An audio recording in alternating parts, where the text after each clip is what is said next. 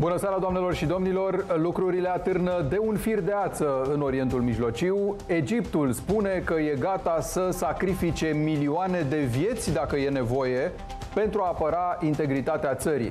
Aluzia este la peninsula Sinai, pe care Israelul ar vrea să o transforme într-o uriașă tabără de refugiați pentru palestinienii din Gaza.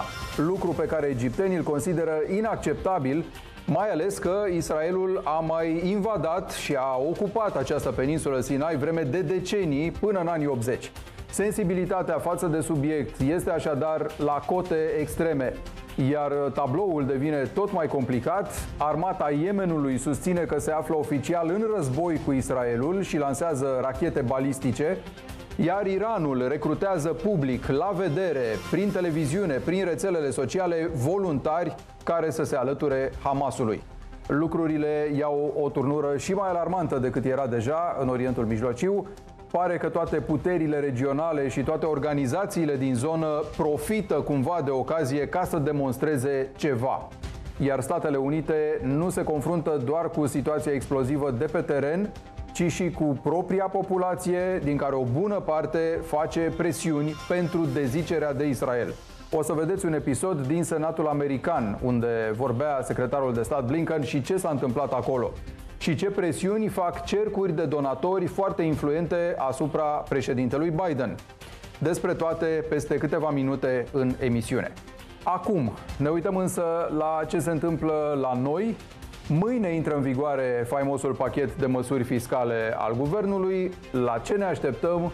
Cum e cu cheltuielile publice pe care guvernul susține că le taie se mai alege ceva de investițiile preconizate sau de reformele cerute prin PNRR?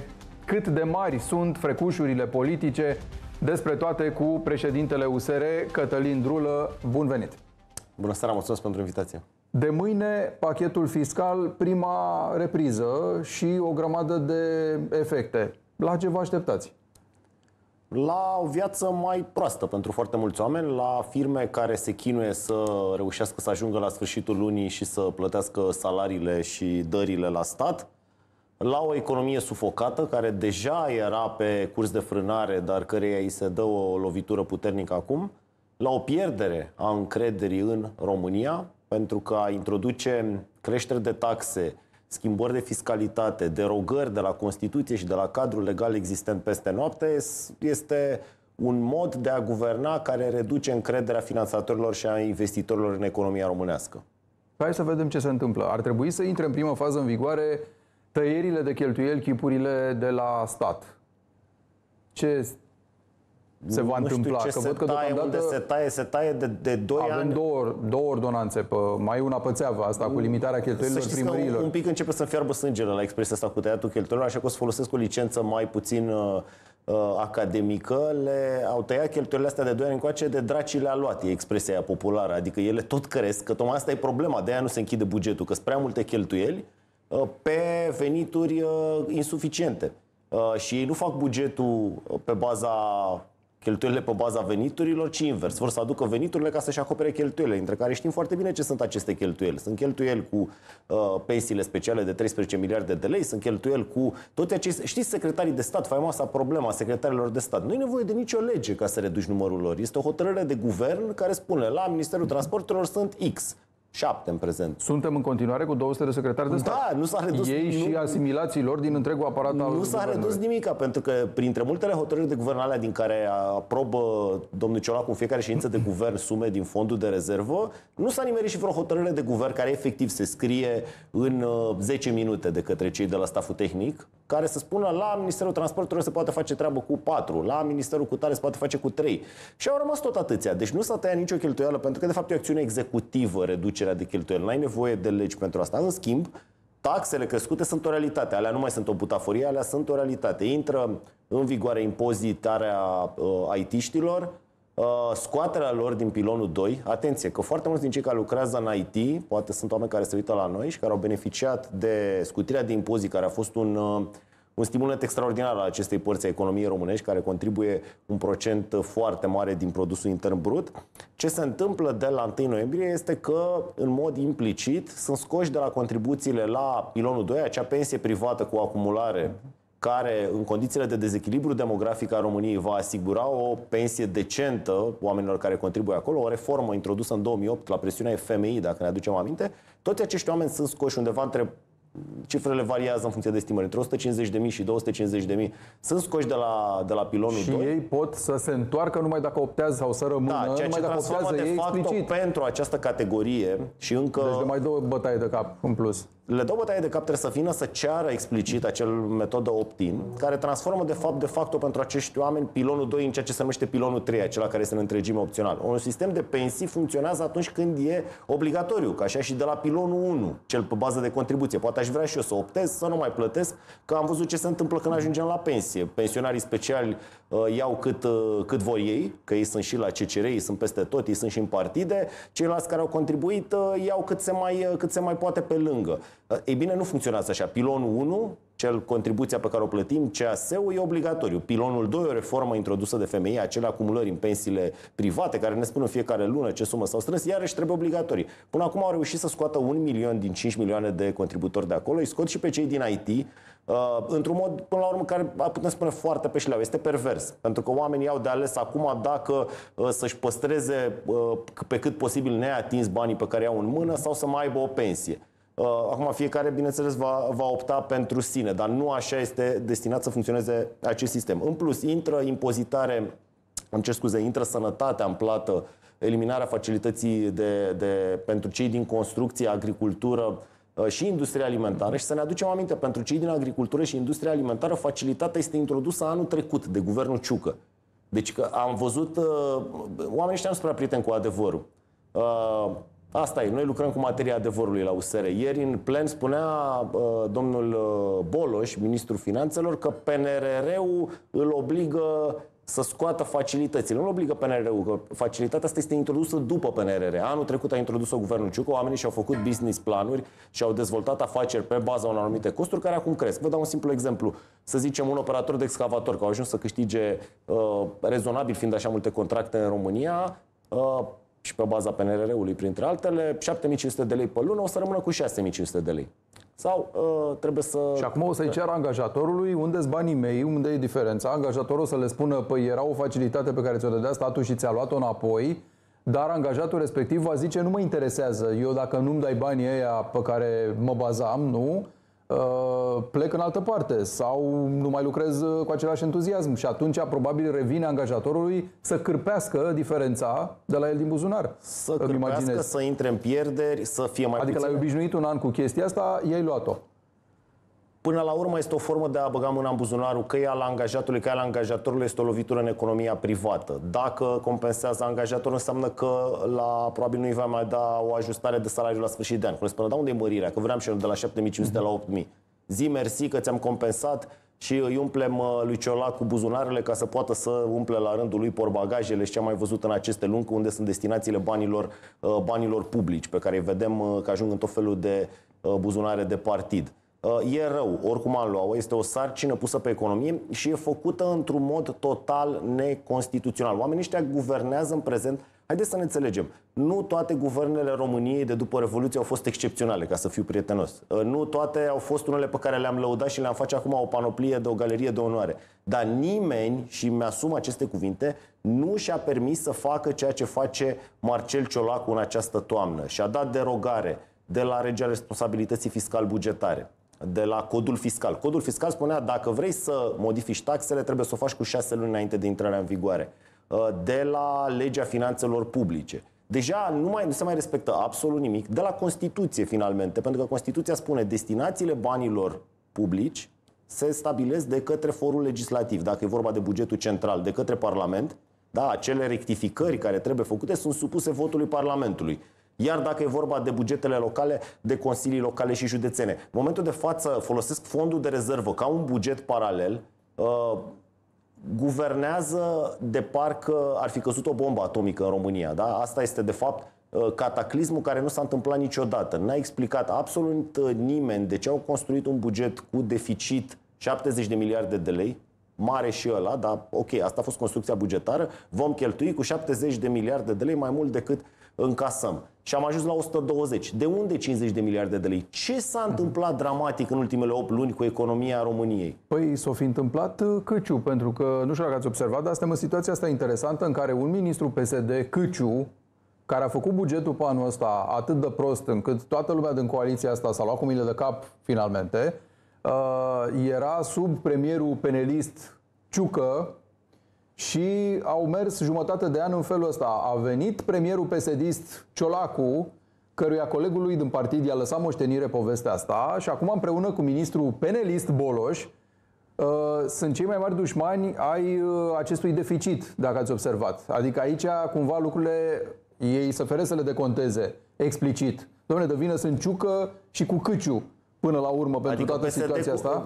PSD și PNL dau vina pe PSD și PNL. Încrucișat așa, cumva. Da, încrucișat, dar tot e de Boloș, de, pildă, de Boloș, care vorbește de dimineața până seara acum despre acest deficit, despre dezmăț, că e cuvântul lui preferat, uh, uh, fiscal, despre tot felul de cheltuieli ale primarilor, numără beculețele, numără baxurile de hârtie igienică, cum vedeți chestia asta? Ce, ce părere aveți este despre o linie, retorica sunt de 2 ani la guvernare, uh, o perioadă destul de lungă pentru istoria recentă a guvernărilor din România, deci își asumă în întregime ce se întâmplă acum. Că încearcă uh, tot felul de alba neagră de asta, nu știu dacă se mai schimbă o dată uh, Ciolacu cu Ciucă din nou, o iau de la zero, e vina celui dinainte și tot așa.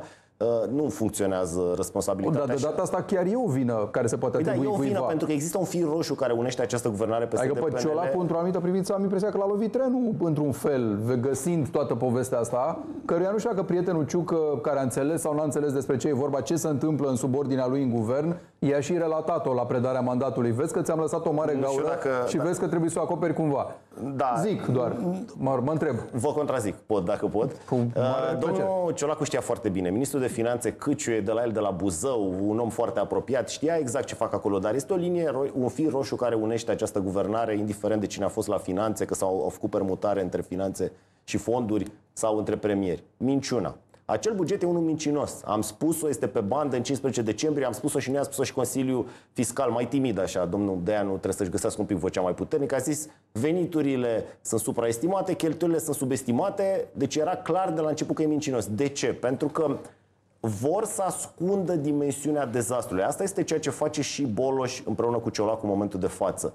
Ei încearcă în mod artificial, dacă vreți ca o comparație plastică ca să înțeleagă toată lumea, Uh, ca și cum am avea un SRL, uh, avem facturi de plată, avem datorii, uh, nu le mai plătim. Tragem o țeapă și zicem, uite, pe cash suntem ok, N-am, e, mai am încă bani în casă. Asta vor să facă acum, cu, vor să forțeze acest, se numește deficitul bugetar în metoda cash, adică doar ce ai plătit, să intre sub 6%, o cifră aleasă arbitrară, nu știu, promisă de Ciolacu pe la Bruxelles, șef, o scoatem sub 6%, promitem noi aici în România și în numele acestei, acestei tâmpenii până la urmă, pentru că Comisia lucrează întotdeauna cu o metodologie, se numește tehnic metodologia ESA, care ia în considerare toate datoriile neplătite. Deci la cheltuieli spune și ce n-ai plătit, nu contează că nu le-ai plătit.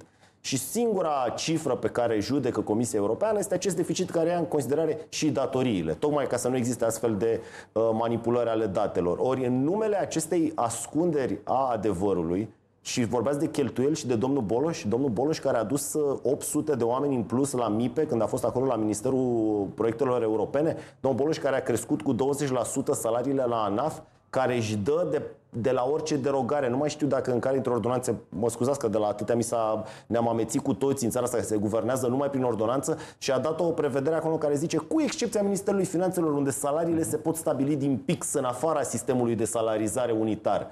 Uh, și acum este un om, eu îl cunosc, îl cunosc pensii, bine, care, care crede în statul obez, în plasarea tuturor la stat, în instituții păi și atunci instituții. ce e? Teatru, adică domnul Boloș și-a descoperit vocația asta de actor, ne intoxică de luni de zile aproape cu uh, criticile lui Absolut. și cu este, este furia un om, lui este declarată un om împotriva ca și această guvernare, sau un om politic, da? ca să nu mergem în zona personală, un om politic care își face din minciună un mod de a funcționa. Uitați cum spune, zice, a, știți ce s-a întâmplat cu bugetul, de ce execuția așa proastă? Că n-a fost inflația așa de mare pe cât credeam. Păi dacă n-a fost inflația așa de mare, înseamnă că nici pe partea de cheltuieli nu au fost cheltuielile atât de mari, pe, atât de mari, nu? Pentru că cumperi, orice cumperi la stat, o corn ca să-l dai la copii sau laptele sau orice, înseamnă că dacă n-a fost inflația cât vreați voi să fie inflația, că de fapt asta este planul secret al lor, este să genereze, și am mai discutat în studioul noastră, vorbim de 2 ani de zile despre asta, să genereze în continuu inflație. Pentru că asta este o formă de a nu-ți plăti datoriile. Cum e mai rău? Uh, să iei omului din, uh, nu știu, salariul de 4.000 de lei să-l scazi efectiv nominal, să zici mai ai 3.800, mai ai 3.600, asta e mai rău. Dar dacă crești toate prețurile cu 10%, e exact același efect și vine aia prețurilor, nu știu, se mai bate ciolacul un pic, mai dă uh, cu, uh, se mai bate cu, cu rețelele și cu, cu tot de ordonanțe, cu adausul comercial. Uh, vor genera un nou val de inflație, Miza lor este că tot acest dezastru economic pe care îl creează să bubuie complet și desăvârșit după alegeri, asta și închipuie. Este de o irresponsabilitate, cum să spun, colosală. Uh, și nu vorbim aici, vorbeam mai devreme despre faptul că au scos un milion de oameni din pilonul 2. Asta înseamnă că niște oameni care uh, își vor, vor ieși la pensie prin 2035-2040 vor avea niște pensii de mizerie. Că oamenii se gândesc cumva la ziua de azi. Nu lăsăm, asta e un, un termen extrem de lung pentru politica românească, 15 ani să te gândești, ei nu se gândești nici la ce se întâmplă peste un an sau doi. Guvernarea din 2025 va fi o guvernare care va avea enorm, enorm de reparat. Uh, va avea de reparat standing-ul României, uh, statura noastră în ochii finanțatorilor externi, care văd că lucrurile sunt Uh, măsluite, cifrele sunt mascate. Uitați un, un exemplu. Legea responsabilității fiscal-bugetare, dată în 2010, o lege sub presiunea femeii, respectată de toate guvernele de atunci încoace, care cumva ține guvernul uh, și administrația în niște limite în privința cheltuielor banilor publici. Sunt niște uh, pași intermediari, să nu scap lucrurile de sub control. S-a întâmplat atunci, a fost un șoc, a venit femeiul și a zis, vă trebuie o lege. Uh, chiar cel care și-a asumat-o și se lăuda, se bătea cu pumnul în piept, este cel care tace acum unul dintre liderii PNL, domnul Emil Boc. Ei, această lege, în afară că s-au dat uh, tot felul de derogări, ce înseamnă derogări? Derogări înseamnă că cu o putere care nu ți aparține, spui mie nu mi se mai aplică acea lege. Evident, aceste ordonanțe de urgență sunt neconstituționale. Dar, dintr-un viciu al Constituției României, atâta timp când nu trec de Parlament și ele sunt ținute în sertar de majoritate, nu pot fi atacate la Curtea Constituțională. Ar pica de pe scaun de pe scaun ar pica. Singurul care le poate ataca este avocatul poporului, doamna Renate Weber, care doarme în papuci complet pe uh, subiectul ăsta.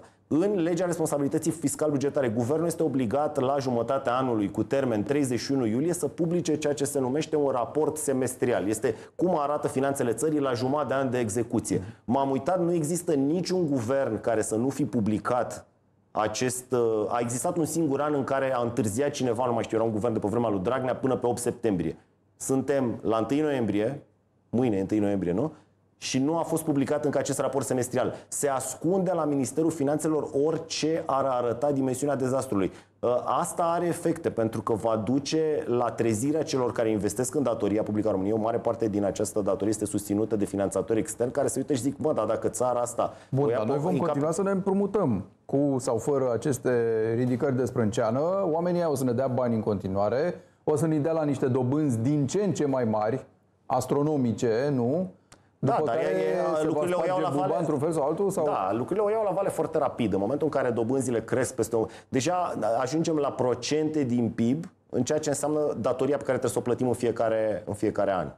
Uh, nu mai am cifrele exacte uh, acum să vă spun, dar pot să vă spun că anul ăsta planul inițial pe acel deficit mincinos de mic era de 160 de miliarde de lei împrumuturi pe acest an. Tot ce este peste acel 70 de miliarde, deci vorbim probabil din cifre oficiale, undeva la 110, 120, deci 40-50 de miliarde în plus, se pune peste acești 160. Deci vorbim probabil de 200-210 miliarde uh, de lei care trebuie împrumutați. Și aici vor să facă ceva fără precedent. Există un, un uh, buffer creat tot așa la nivel de anul 2010, bufferul din trezorie se numește. Sunt câteva miliarde de euro ca al căror scop este să fie tot timpul acolo, e ca rezerva de aur a BNR, dacă vreți, e o comparație un pic deplasată, astfel încât dacă te duci în piață, cei care trebuie să te împrumute, despre care vorbea, să nu știe că ești în fundul gol și să, să te rupă cu dobânzile. Și tu, tu să poți să zici, ok, dacă nu-mi dați voi și că mai sunt licitațiile care eșuează la Ministerul Finanțelor, e ok, îmi iau singur pentru o săptămână, două, cât am nevoie, am răbdare, pot să aștept. Și atunci poți cumva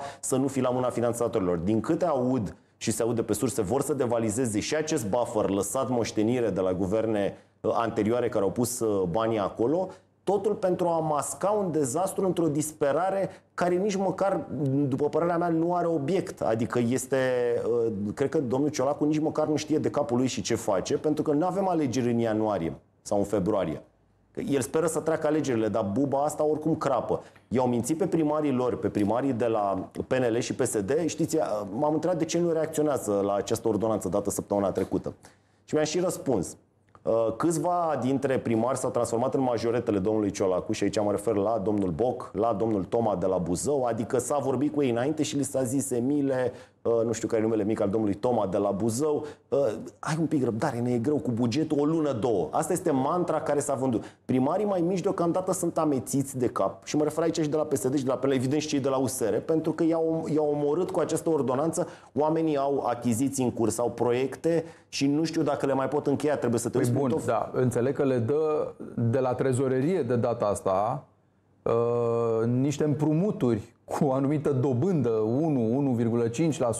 1-1,5% pentru finanțarea acelor proiecte de investiții unde mai au bani. Aici uh, vreau să ne explicați dacă ați înțeles ceva. Nu. Deci, pe de o parte, le taie cheltuielile, uh, totul e din fondul de rezervă în acest moment, nu se face rectificare la buget, dar descuiem un pic ușița la trezorerie, le dăm primarilor niște împrumuturi în valoare de un miliard de lei, înțelegem, ca să mai cârpească pe aici, pe acolo. Care e logica pentru care pe o parte pui interdicții, pe alta le dai... Atenție, nu se reduc cheltuielile. Cheltuială nu înseamnă dacă tu ai o, o uh, cheltuiala ar, ar însemna, de, deci dacă tu ai un proiect în derulare, da, o stradă pe care o face un primar, care e la 30% și se lucrează la ea, faptul că îl pui pe primar în imposibilitate să plătească facturile, nu înseamnă că reduci cheltuielile, înseamnă că doar îl transform forțat pe acel primar într-un țepat. Păi, asta zic, Statul deci... devine un rău platnic în momentul ăla. Și este extrem de pervers ce face acest domn Marcel Boloș. Spune să vă încadrați pe ultimele două luni în media primelor nouă. Eu visez și respir investiții. Și și Boloș le știe bine, că a lucrat la Ministerul Transporturilor vreo 3 ani de zile, sau 4, nu mai știu exact câți. Întotdeauna pe proiectele mari de investiții se adună facturile la sfârșit de an. Asta este natura proiectelor. Da? Se măsoară tot ce s-a întâmplat. Mă rog, sezonul de lucru începe în martie, când primele luni, ianuarie, februarie, nu se poate lucra bine. Și întotdeauna asta așa. Deci ce le spune acum este, băieți, voi o să dați o țeapă acelora.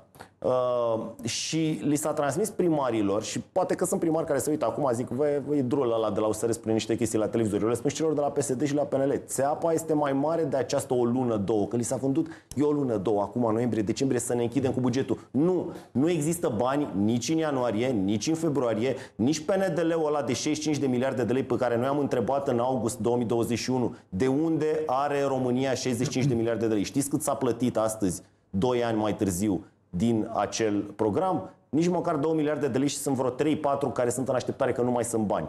Deci se dovedește că nici măcar, uh, cum să zic, n-am ajuns la 10% din acest proiect, suntem la 5% și s-au terminat banii. La CNI au făcut același lucru.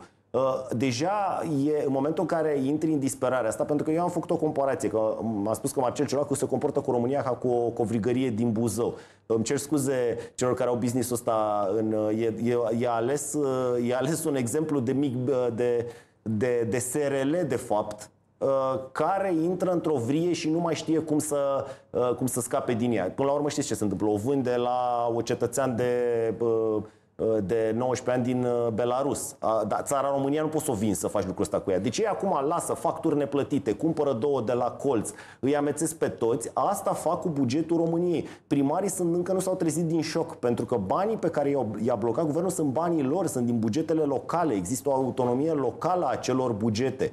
Uh, acest mecanism este fiecare din aceste ordonanțe este neconstituțională. N-au curaj, deci ce se întâmplă cu ordonanță de urgență? O dai, UG13, da, Sorin Grindeanu, intră în vigoare imediat, se depune la Parlament, dacă nu este trece de camere, votat să zicem, ca o majoritate, 70% să și le aprobe, n-ai cum să o ataci, uh, nimeni n-are cum să o atace la Curtea Constituțională decât avocatul poporului. Și au dat ordonanță peste ordonanță, ordonanța 73, 78, deci fiecare dintre asta este cu derogări de la Constituție și de la cadrul uh, legislativ existent și nu, uh, ele sunt niște acte care practic funcționează în afara sistemului legal, constituțional, fiscal, bugetal al României, dar care produc efecte. Uh, ei cred că le merge chestia asta. Asta se va vedea și de partenerii noștri, și la Comisia Europeană, și la finanțatorii internaționali instituționali.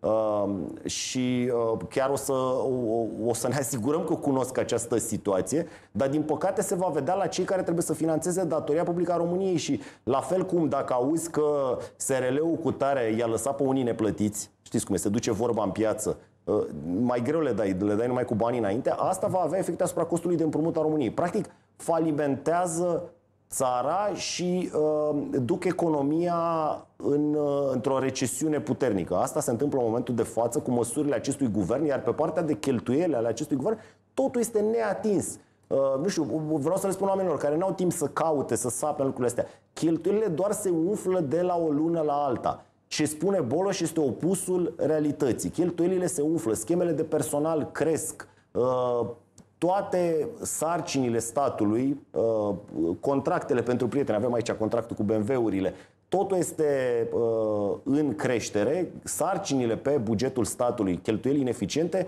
sunt acolo, nu sunt atinse de nimeni. ce cu contractul cu BMW-urile? Contractul cu BMW-urile am uh, obținut astăzi două documente, eu zic importante, un raport de neconformitate emis de organismul intermediar transport din subordinea domnului Grindeanu sunt cei care gestionează fondurile euro- europene, pentru că, de fapt, era un proiect de siguranță rutieră finanțat din fonduri europene pe zona de transport.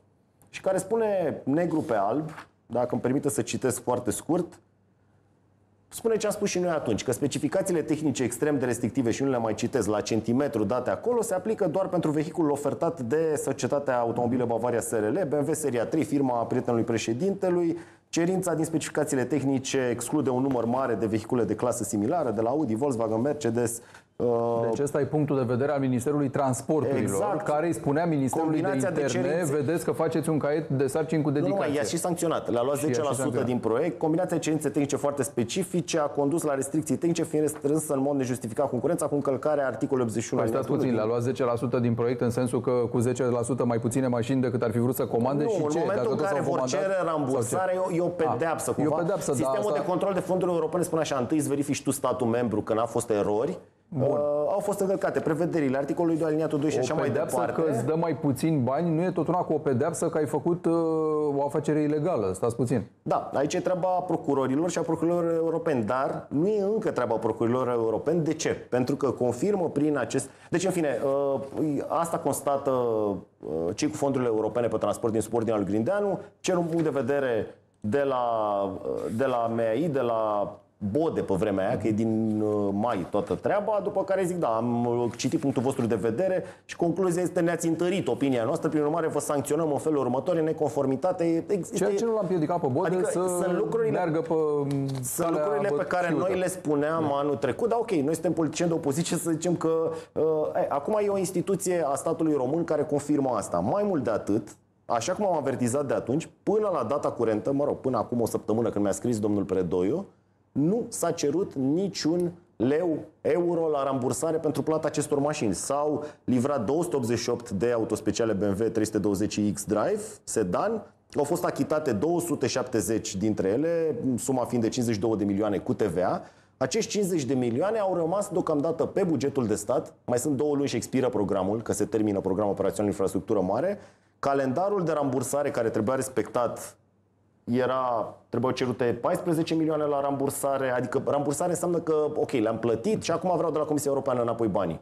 Da, pentru că era un proiect pe fonduri europene. 14 milioane trebuiau cerute în iulie, 12 milioane în septembrie 2023. N-a fost cerut niciun ban. De ce? Pentru că în momentul în care cer bani europeni, devine de competența doamnei Chioveși această această afacere cu dedicație a mașinilor cumpărate de la firma prietenului președintelui Iohannis devine de competența lui Chioveși. Ori se vede treaba că până în prezent domnul Predoiu îl acoperă pe domnul Bode, n-a trimis această cerere de rambursare. Sunt două lucruri aici. Se acoperă o ilegalitate Mă rog, DNA-ul, care știu care, cred că are un dosar în rem, nu știu, domnul Voineac ce mai face pe acolo, că poate în afară de naș și de tren, se mai uită și la niște lucruri care, iată, au documente pe care le-am obținut eu printr-o solicitare parlamentară. Deci, presupun că dumnealor au mijloace mai specifice, dar frică lor le este de Chioveși. Și ca să nu ajungă la Chioveși, au făcut ceea ce am spus de la început. Au luat 300 de BMW-uri uh, din 600, s-au oprit doar la 300 și au zis uh, nu mai cerem banii europeni.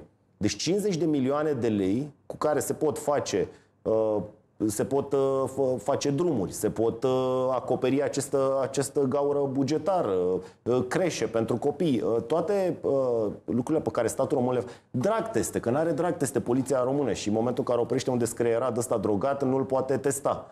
Apropo, astea erau și astea în proiect, pe astea nu le-au cumpărat. În pe acest proiect de siguranță rutieră erau incluse și aparate de testare a drogurilor, pe astea nu le-au cumpărat.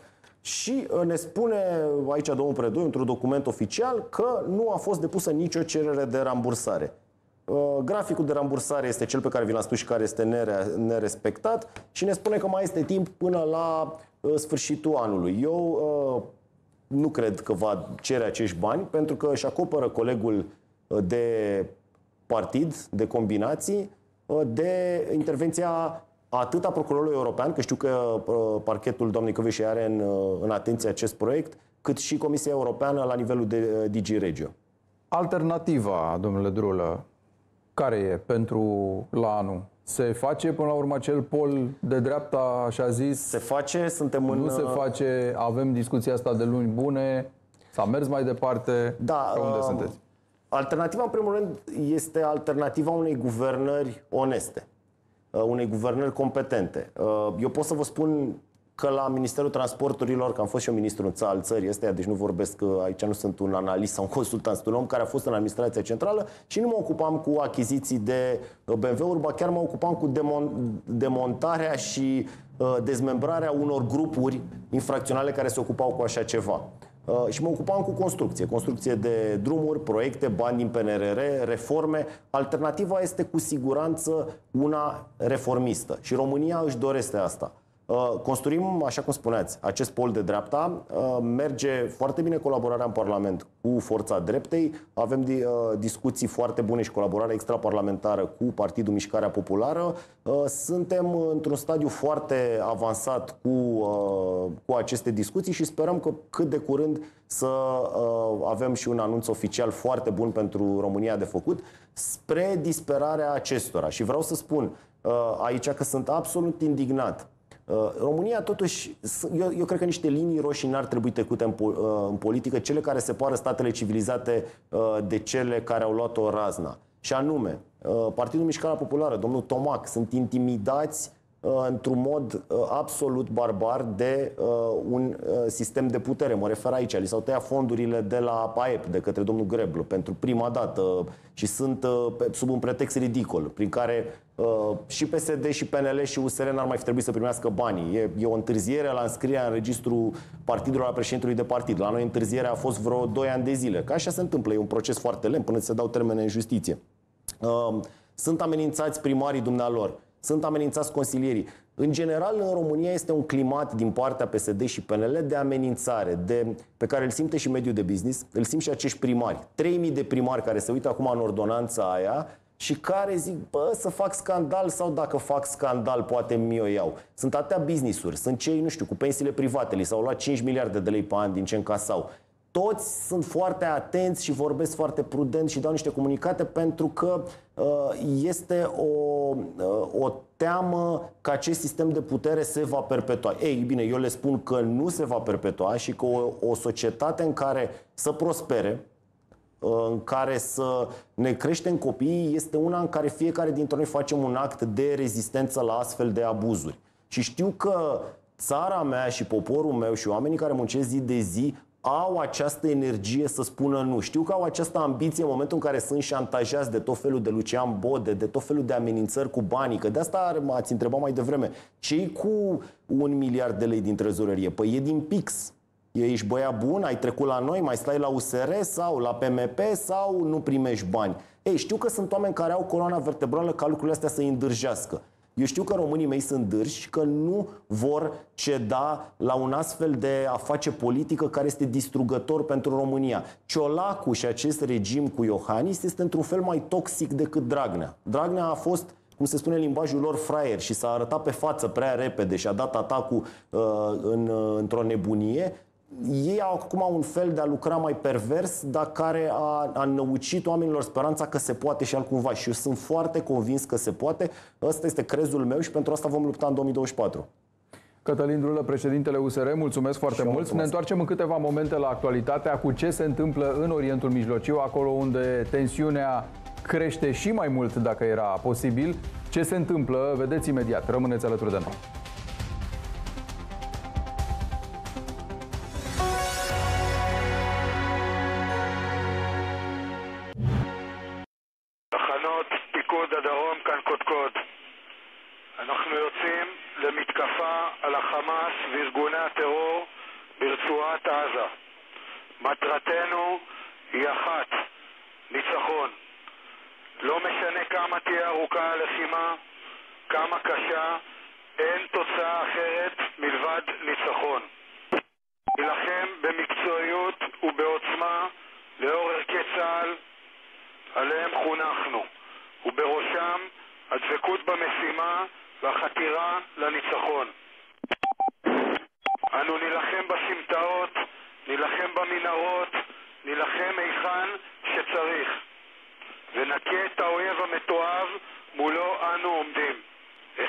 הלוחמים. Da, ați văzut uh, semnalul dat de comandantul militar. Israelul, uh, practic, uh, este deja acolo. A intrat, se pare, și în Gaza City. Luptele se duc acum pe străzi din casă în casă. În fâșia Gaza sunt două divizii de blindate și 20.000 de infanteriști. Uh, discutăm imediat despre ce se întâmplă acolo, dar între timp situația se complică în toate privințele. Egiptul amenință și el Israelul uh, după ce au apărut informații că Israelul ar vrea să-i mute, nu se știe pentru cât timp, pe palestinienii din Gaza în peninsula Sinai. Suntem pregătiți să sacrificăm milioane de vieți pentru a ne asigura că nimeni nu atentează la teritoriul nostru, spune premierul Egiptului. Egiptul nu va permite să îi se impună ceva sau cauzele regionale să fie lichidate pe socoteala lui, mai spune premierul egiptean, care s-a dus personal acolo în regiune, iar Iranul și-a pus în funcțiune toate motoarele, pe lângă Hamas, Hezbollah și Jihadul Islamic Palestinian, i-a activat pe rebelii Houthi din Yemen. Armata de acolo a declarat război Israelului, trage rachete spre Israel de câteva zile. În plus, Iranul recrutează la vedere, și o să vedem ceva mai târziu, prin campanii de televiziune, prin internet, voluntari care să lupte alături de Hamas.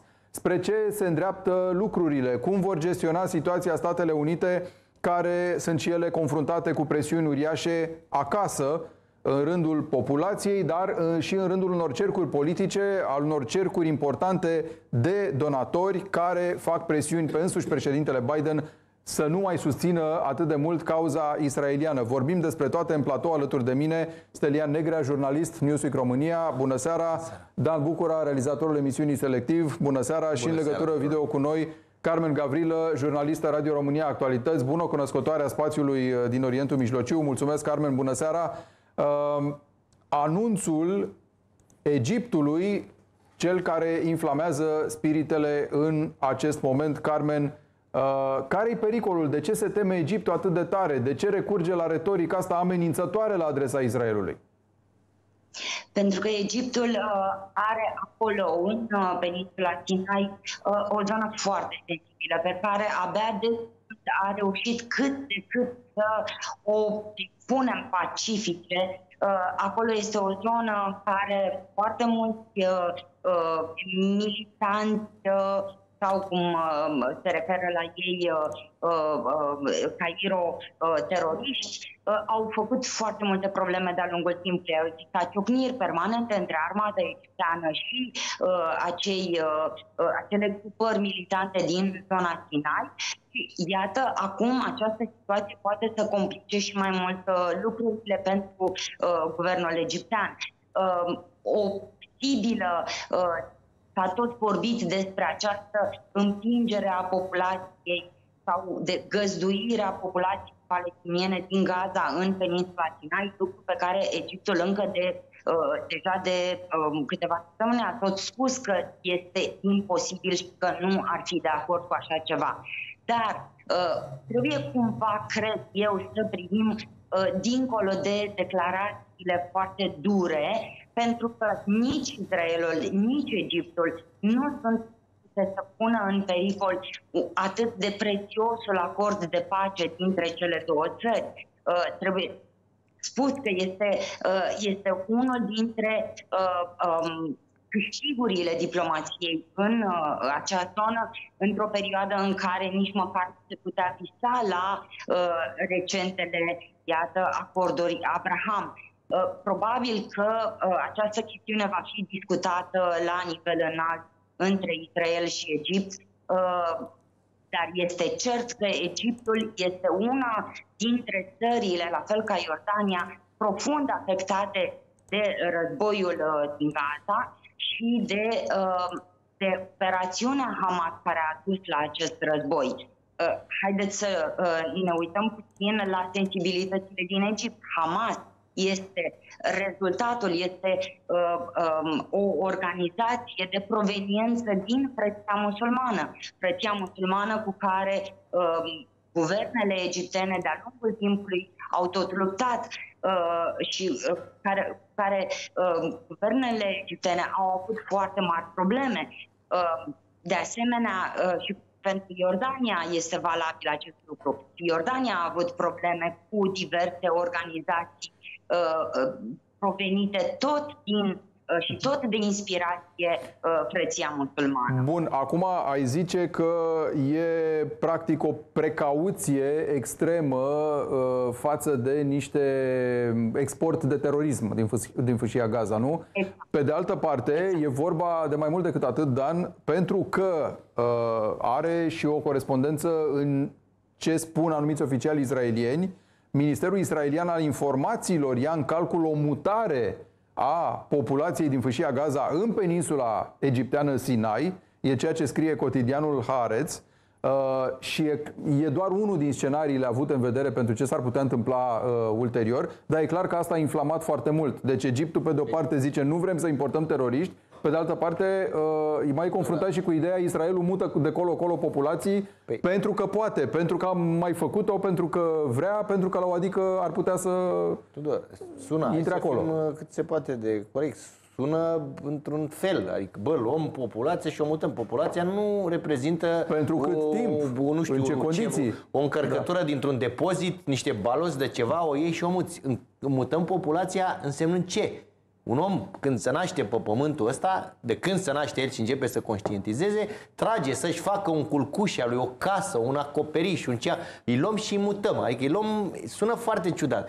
Eu văd, în, atât, știi, noi am mai Sună discutat... foarte ciudat și de ce ai vrea în Israel să alimentezi genul ăsta de, uh, de, de, de tensiune din partea unuia cu care teoretic te-ai fi înțeles bine, la Egiptul. La cum o da. văd eu, cel puțin fără să am uh, veleități de specialist în zona aia, dar cumva e adevărat că uh, autoritățile din Israel trebuie să dea pu- cumva puțină satisfacție populației, să o stoiască lucrurile acolo, nu știu cum. Și atunci Inclusiv înțeleg și intervenția terestră, înțeleg acțiuni în forță, înțeleg multe. Uh, de asta, de exemplu, această imagine cu care tu ai început mai devreme, sau mă rog, filmulețul de mai devreme, îl așteptam. Nu, nu credeam sub nicio formă de la momentul 7 octombrie până astăzi că vom scăpa de acest lucru. Ei, de fapt, că vor trece peste. Dar până unde mergi? Pentru că vedem că lucrurile cumva escaladează și toată lumea arabă stă astăzi pe un butoi de pulbere. Sigur, înțeleg și declarațiile lor abelicoase care și-au fost dintotdeauna și arată și amuși, trebuie să dea și ea satisfacție populațiilor. Dar până unde? Unde este linia aia roșie în care spunem, bă, stop, ca exact ce, ce spunea și Carmen Gavrilă mai devreme, doamne, să nu aruncăm în aer niște echilibre, niște înțelegeri uh, unice istorice care țineau cumva uh, capacul pe o oală extrem, extrem de încinsă care clocotea de mulți, mulți ani. Uh, Am văzut ordinul mai devreme, uh, Steliani. E invazia în plină desfășurare, de fapt, fără să fi fost anunțată propriu-zis? Uh, sau soldații încă așteaptă ordine decisive? Pentru că, înțelegem, au intrat acolo, sunt uh, zeci de tancuri masate, uh, înțelegem că se duc lupte chiar în Gaza City, s-a pătruns deja pe teren. Nu mai e cu drone, nu mai e cu avioane, nu mai e cu bombe. Sau e și cu asta, dar e foarte mult acum cu mers din casă în casă, cu căutat uh, printre ruine cuiburi de teroriști, nu? care ar putea funcționa în continuare și așa mai departe.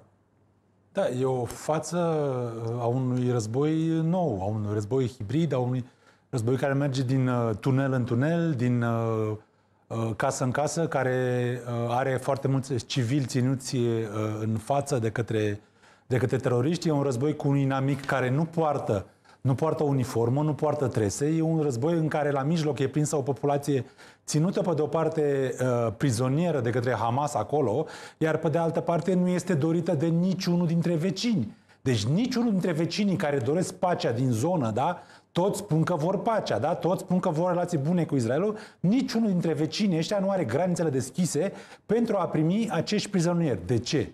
E o întrebare simplă, banală și care îți spune foarte mult despre natura acestui conflict. Pentru că acei vecini, mulți dintre ei, sunt foarte uh, uh, liniștiți cu inexistența statului palestinian, cu inexistența, în momentul în care ai un stat palestinian, uh, un stat palestinian nu mai este dispus ca orice stat, de altfel, care, uh, cum, o structură uh, administrativă, politică, nu mai e dispusă la război, nu mai e dispusă la belicoșenie din asta, să-i țară țandra din orice, atunci lucrurile se mai liniștesc. Se mai... Pierzi o carte de jucat, exact. nu? Ai întotdeauna exact. această carte de jucat în numele cauzei palestiniene, faci exact. câte ceva, în numele cauzei palestiniene, de acolo își fac jocurile de putere. E un război, exact, e un da. interzboi, război prin interpuși cu statul izraelian, de fapt. Asta este prezentă cauza palestiniană pentru foarte mulți dintre vecini de acolo. Și mulți dintre vecinii aia sunt, cum spun, state foarte slabe, state eșuate. Siria, Libanul în nord, iartă-mă, Libanul nu mai e stat de mult. Siria, la fel, nu mai e stat. Uh, ai după aia Cisjordania, ai în sud Egiptul, care e, e, o